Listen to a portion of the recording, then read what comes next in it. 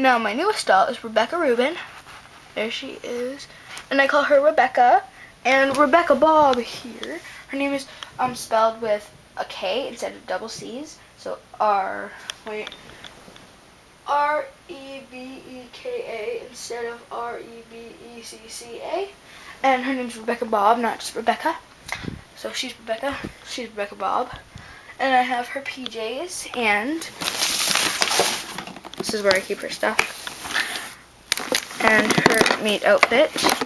And also for her, because it said on the website it's good for her hair, I got a hair pick.